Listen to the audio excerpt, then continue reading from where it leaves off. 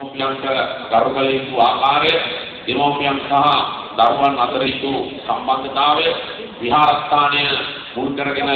කටයුතු කිරීමේ වැදගත්කම බෞද්ධ ආගමික පරිසරයක තිබෙනා වූ වැදගත්කම ඒ වගේම අන්‍ය ආගමික වශයෙන් ගත්තා. ඒ සියලු ආගම් වල කරන දර්ශනයන් සමග මනුෂ්‍යත්වය ප්‍රගුණ කරමින් එහි තිබෙනා වූ වැදගත්කම මේ සියල්ල